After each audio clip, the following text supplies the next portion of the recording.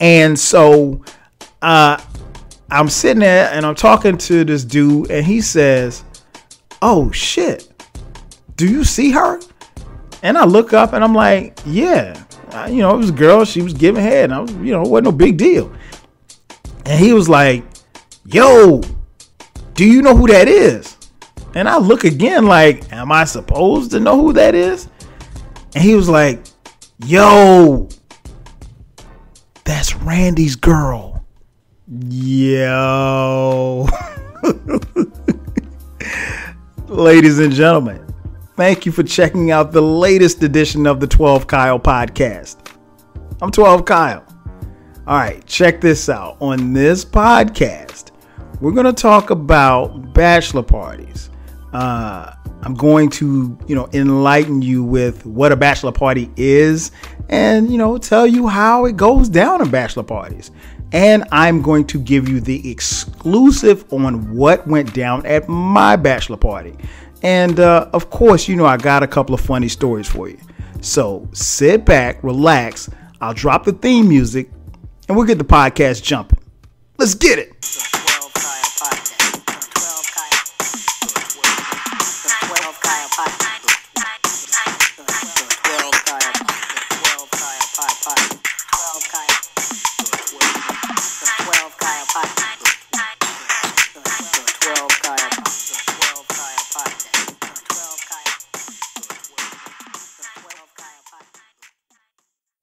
Welcome back. As I mentioned at the top, I'm talking about bachelor parties. Uh, honestly, there's a lot that I can tell you about bachelor parties. Uh, then again, there's a lot that I can't tell you about bachelor parties. And the reason being is that this little thing called man laws. So, you know, I can't break any man laws, but I will keep it 100 with you. Um, I guess we probably should start off with what a bachelor party actually is. Um, by Webster's definition, and I mean, I know you don't need me to give you the definition, but I'm gonna give it to you anyway since you're listening. Um, by definition, quote, a bachelor party is a party given for a man who's about to get married, typically attended by men only. Close quote. Um, yeah, so that's what it is. Uh, I, I will say this. Um, just as a man, I think other men, we tend to get pretty excited uh, when we find out that one of our fellow men are getting married because we know one they're getting married and you know there's a level of it of you know happiness and enjoyment for that person who's getting married. Um, and then there's also you know some some a level of uh, happiness because of the shenanigans that will take place at the bachelor party. And there's always shenanigans that's going to take place at a bachelor party. I don't care where you go. I don't care what color you are. I don't care what your religion is, no matter what. Bachelor parties are usually off the chain. Um, so I guess, you know, you really have to kind of start there with the origin of what it is and and then how we actually feel about it. I know um, you know, typically speaking, uh, especially at the time when me and my friends were getting married, uh, you know, we were like one of the first things you would hear, like you you might get a, a text like JoJo's getting married, right? And then the next text is, okay, what's up with the bachelor party? I mean, it literally goes like that. Where's the bachelor party going to be? What do we need to do? Are we flying there? Are we driving there? You know how much money do we need that type of thing. So you know the the wheels immediately get in motion when you know a wedding is announced and you know it's it's time for the bachelor party. So um, just like women tend to or some women i don't want to say all just like some women tend to kind of go into full speed ahead mo- uh, uh, uh, motive um, when it comes to planning a wedding. Uh, generally speaking that happens with men uh, when it's time to uh, to plan the bachelor party. Um, so, full disclosure, I'm married. Uh, for those of you who don't know, been married at the time of this recording 17 years now. Uh, and so, you know, I'm pretty sure just based off the title, you want to hear about what went down at my bachelor party because, you know, I know you know that my bachelor party was off the chain, right? Of course it was. so here's what I'll tell you about my bachelor party, and I'm gonna keep it a buck with you. My bachelor party, Didn't happen. Honestly, I did not have a bachelor party.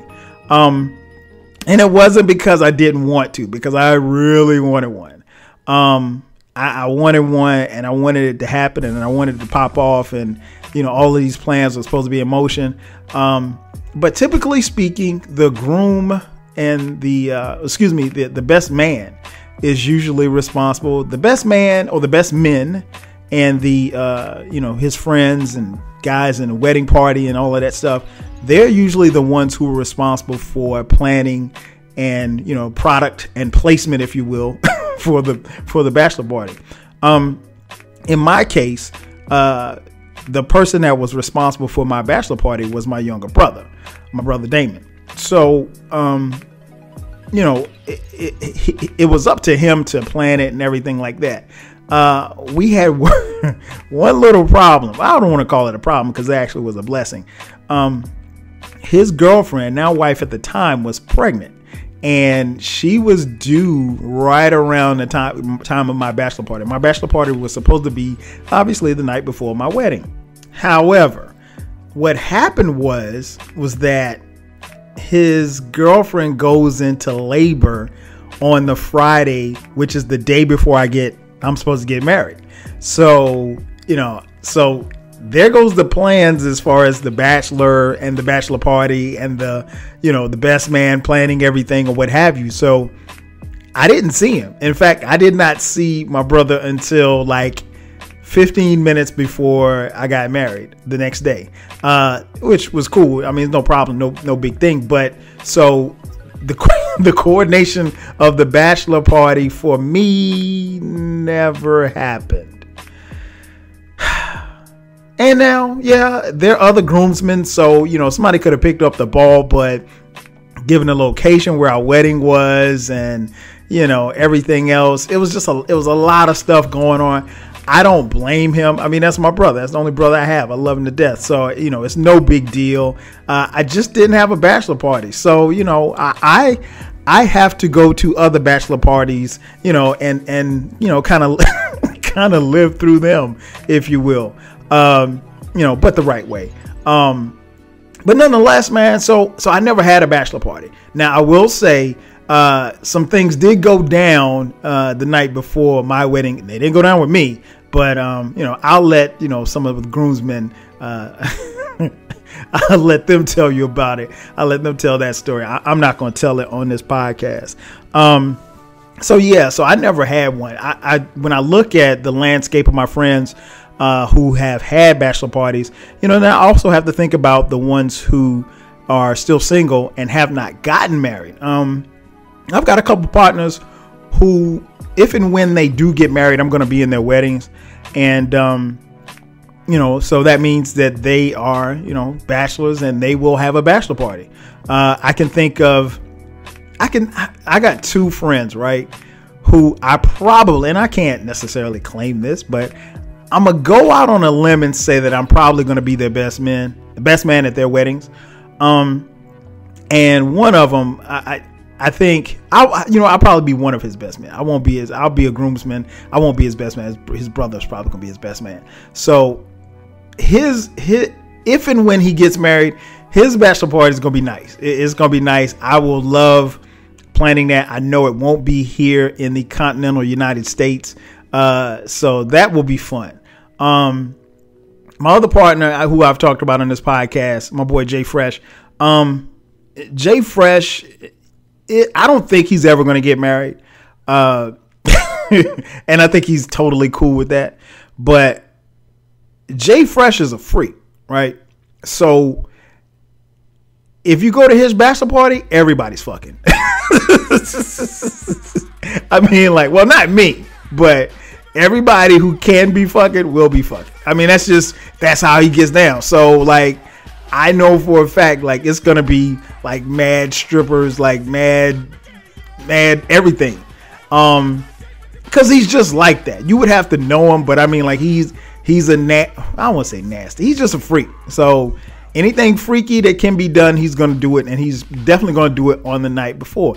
Which leads me to the thought of I don't know when it came into came to pass where because the, the night traditionally a bachelor party is just supposed to be a celebration of the you know the bachelor you know his last night of singlehood. Now and i won't i'm not gonna sit here and say that every dude you know bangs out a chick you know at his bachelor party. That probably doesn't happen to most people.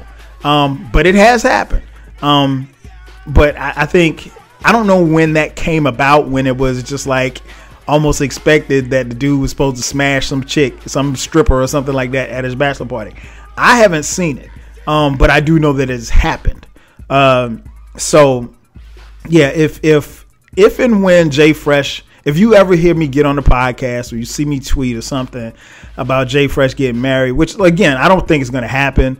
Um, you know, he's I, I can't see him, you know, not to say that he's not marriage material, but his ideas and thoughts of marriage, I don't think is gonna gonna gonna work. But um, if it, if and when he does, uh, his bachelor party, I will probably be the only person that's not having sex at his bachelor party. His his bachelor party might be as just a straight up orgy. he is that wild. So um, nonetheless, so yeah, it gets me to thinking about, you know, when I think about bachelor parties, I think about, you know, my friends who have had bachelor parties and ones who haven't. Um, and then, you know, obviously you, you get to thinking about stories and, and memories of bachelor parties. Uh, I've seen, I've been to a few. Um, I'll put it like that. I, if I had to put a number on it, maybe 10, maybe.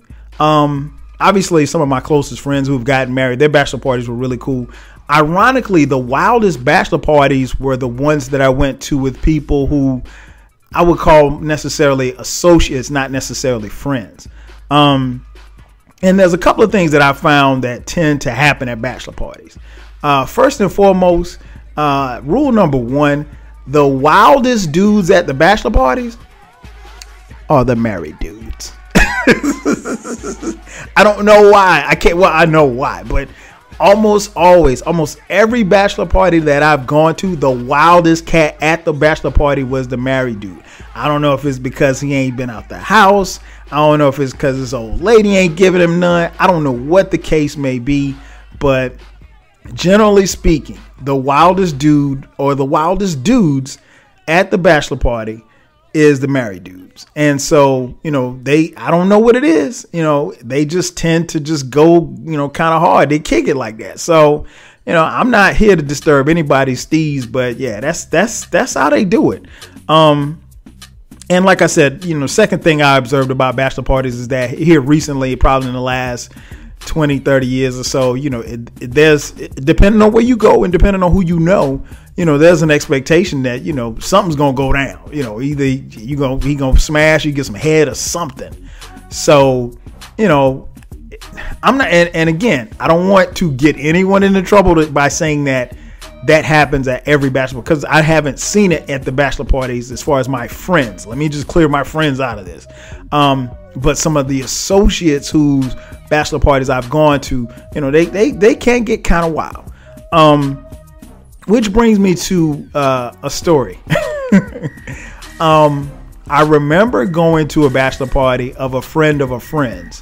Um, so a cat who I knew pretty cool, you know. So and, and that's another thing too. Like you really don't want to go to bachelor parties for people who you really don't know because there'll be other dudes in that circle and you know and that ain't really the space you know where you really want to kind of interact with cats who you really don't know. You want to you want there want there should be some type of level of comfort with the men who are you know assembling for the bachelor party.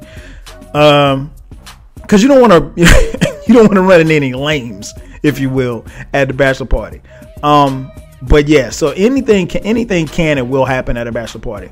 Uh, I remember going to a bachelor party, and we were sitting in this uh, we were sitting in this guy's living room, and you know we're waiting on.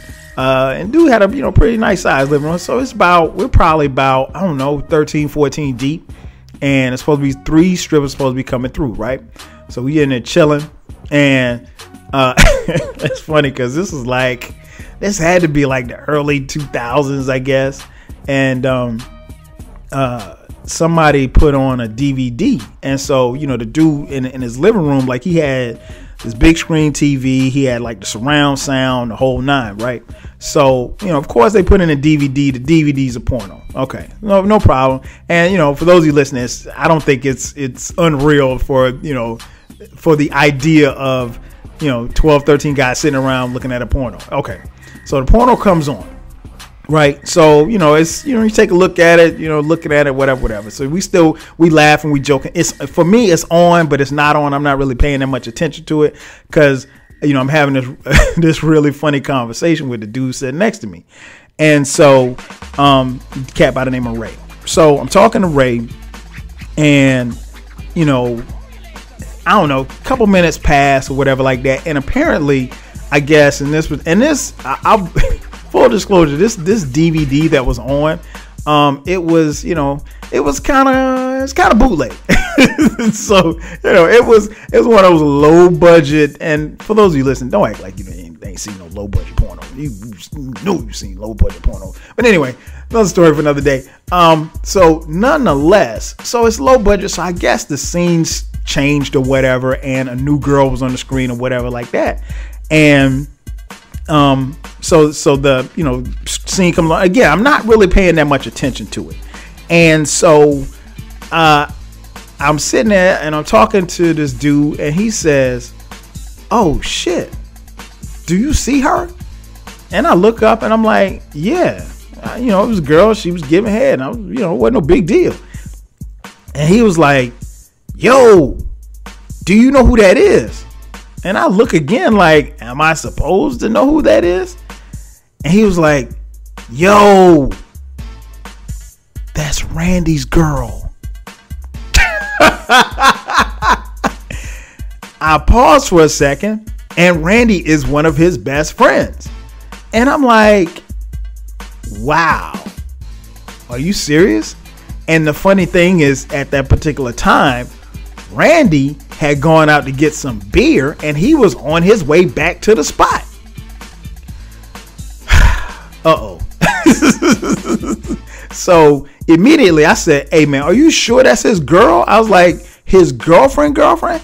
He was like, Yeah, that's his girl. He's like, You see the tattoo on her shoulder? He's like, and she had like this crazy lion and eagle tattoo on both of her shoulders and he was like, "That's her." And, and and from the angle that she was, you know, giving head, you could clearly see the tattoo on her shoulder. And it, you know, I admit I'd seen Randy's girl before.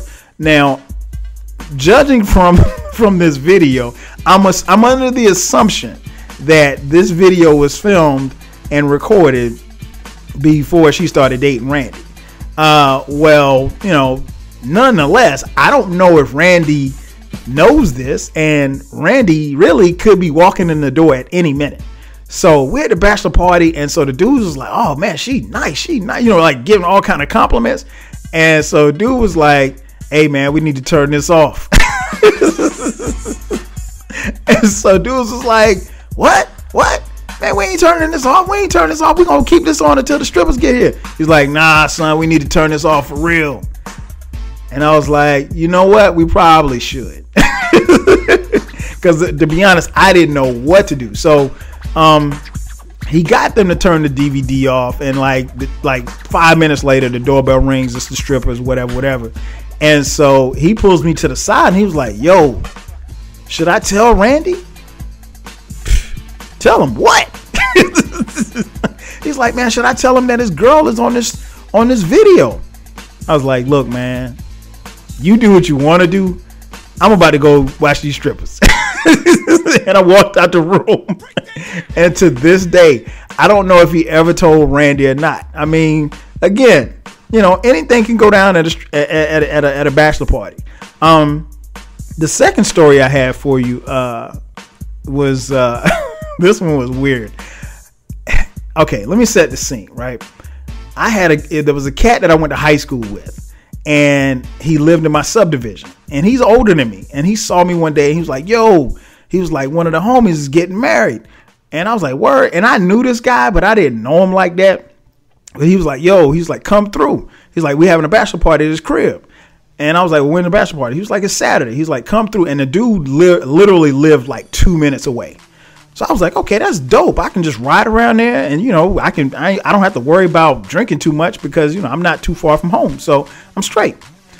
So you know, I get a bottle and uh, I go to the bachelor party. So I get there, and you know, so we're chilling or whatever. And again, I saw the dude who the the the, the groom, the future groom, if you will, dapped him up, said, "What's up? Congrats!" You know, the whole now. We sitting down. This dude, he's got this huge, beautiful house, huge crib, and so um, everybody's upstairs. I kind of make my way downstairs because he had like this uh, theater room.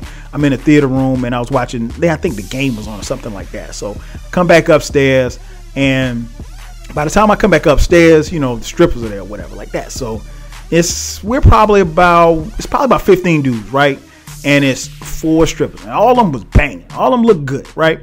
So it's like okay so you know they, they they're talking or whatever like that. They're saying you know what what they're gonna do and this and that. And you know you kind of laying the ground rules or whatever like that. And you know i really wasn't paying attention. I think somebody was texting me or something. And um oh yeah one of the boys was texting me saying he was on the way. So i was texting him back. And i and i specifically heard one of the strippers say like look one rule is don't try to stuff no money in my pussy Okay, I mean, you know, I, I can understand that, and so, you know, it, you, I guess if somebody gives you a rule like that, I don't think that's too hard to comply, right? So anyway, so you know, cats cut the music on. My man, he's like I said, he's got this huge crib, and he's got surround sound. He's got you know music blasting all through the house. Had a D, well, he, I guess he had like the little uh, DJ mixer or whatever like that. So he had the music going or whatever like that. So it was a festive occasion, man. They had the food was crazy, drinks. I mean, like we had it was so much food and so you know so many drinks or whatever like this. I was just really just having a good time. I had a couple ones in my pocket. Uh, anybody knows me knows that I'm not you know you you got to work for your ones when it comes to me and strippers. Uh, so nonetheless, I'm having a good time. I'm chilling, and so you know, like I said, it's four girls, 15 dudes. You know, I, I'm again at this particular time I'm married, so you know I'm not I don't need nothing. I'm coming there just to have a good time, and I'm gonna take my ass home, right? So we're with. I guess the, stri- the the the strippers are probably about an hour in, you know. So everybody's just so you know they're getting dances, they're doing tricks and all stuff like that. And so, um, I you know I was interested in what was going on, obviously there, but I was also interested in whatever was happening in the game. So I my plan was to go back downstairs to the uh, theater room, right? So I go down to the theater room, and here's what happened. While I'm upstairs, I mean, while I'm downstairs, upstairs, I guess one of the strippers was, you know, she was doing the trick or whatever like that, and she was on her back. Just picture this, right? She's on her back or whatever like that, and one of the fellas, a married dude, I guess. Um, that's my guess. I don't know because I don't know who I don't know who was the culprit. Um, tried to stick a 20 in her. And the next thing I know, she got mad and she just started cussing. And I could hear the commotion from downstairs. She got mad. She started cussing, motherfucker, don't you da da da da. And she just going off. And then she reaches in her bag and pulls out a gun. Motherfucker, I'll shoot you. Okay. By this time, I'm on my way back upstairs. I see her with the iron in her hand. And I mean, it's like, uh, this got to be like a nine or something. Nice, nice looking nine, too, by the way. And so by that time, I mean, like you could have heard a record scratch. I mean, like everybody, everybody who was drunk sobered up. Everybody who was high you know, sobered up. Everybody who was doing any, I mean, like the world stopped when she pulled that gun out. And so she was just like, fuck this. I'm, I'm done. I'm leaving. I'm, I'm out of here. And so she went upstairs into one of the bedrooms and she was just changing clothes, whatever, like that. So the other strippers stopped doing what they were doing and they had to kind of go calm her down and everything like that. And so so the, you know, so we were trying to figure out what happened, and cats were talking or whatever. And so I, when I found out who the guy was that tried to stick the twenty in her, I was like, "Hey, homeboy!" I pulled him to the side. I was like, "Hey, homeboy, I'm gonna let you in on a little secret. You probably want to leave." If she's bold enough to pull a gun on you, you probably want to leave while you can. So, you know, so homeboy left or whatever, and you know, you know, we told her that, you know, dude had left or whatever. She was just so mad. She was disrespected and this and that. So, you know, she had threatened to leave. They they all had threatened to leave and, you know, they had already gotten paid, I guess, you know, at least some of the money they had gotten. So, um, so yeah, they, um, you know, so, but came back down and, you know, finished doing what they were doing. so yeah, man, bachelor parties, anything can and will go down at a bachelor party. Um, if you're planning a bachelor party, you know, just make sure that you, you know, you know, try to have some fun because that's what it's supposed to be about, right? Thanks again for checking out another edition of the 12 Kyle podcast. I'm your boy 12 Kyle. I'll catch you guys next time. 5 G's.